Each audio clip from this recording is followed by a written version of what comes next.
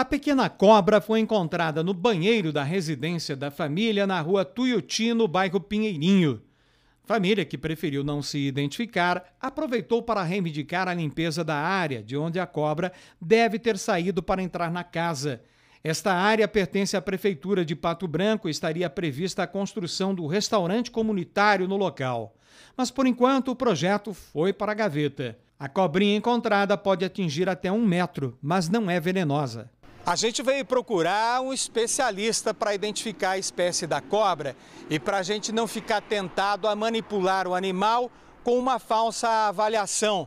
É, o professor Cleves Rubo é biólogo né, e é o nosso consultor aqui para assuntos né, é, ligados aí a animais. Quando a gente encontra um, bom, a cobrinha é simpática, né, professor? Então o senhor já identificou ela, está manipulando porque não é venenosa. Na verdade é uma falsa coral e essa pequenininha aqui, ela pode chegar até um metro, um metro e vinte. Ela cresce muito mais do que a verdadeira.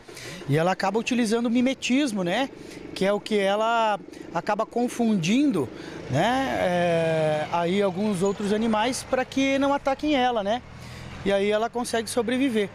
A natureza é sábia, ela, a aparência dela imita uma venenosa que é para se proteger de predadores. Exatamente, aí os predadores acabam atacando ela.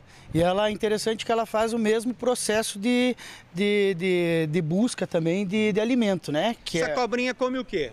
Ah, ela come tenébrios, é, que seriam é, larvas de, de besouros, né?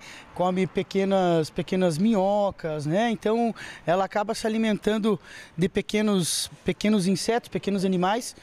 E aí ela acaba chegando a 1,20m até, pode chegar até 1,20m. Bom, essa, essa danadinha foi encontrada no banheiro da, da casa da família, né? Próximo a um, um, a um matagal, onde tem uma tem mais, mas o, eles com todo cuidado, capturar o animal vivo. O que, que a gente faz, né? Porque a dúvida é benefício do logo, professor. Como é que a Sim. gente, eu leigo, né, vou saber se posso pegar na mão, como o senhor está pegando agora ou não? Olha, é muito simples, tá? É, Para quem não sabe identificar, então é muito fácil. Você pode até virar ela naquele momento ali com uma vassoura, um pauzinho ali, e aí você acaba observando aí que a barriga dela, ela acaba sendo ela não tem coloração, né? Branquinha. Ela é branquinha. E enquanto o seu desenho, ele é imperfeito, né? As, as, os manchas desenhos, brancas, manchas, elas, pretas e vermelhas. Né? Elas não são contínuas pelo corpo todo, né? Hum. Calma aí, Betão.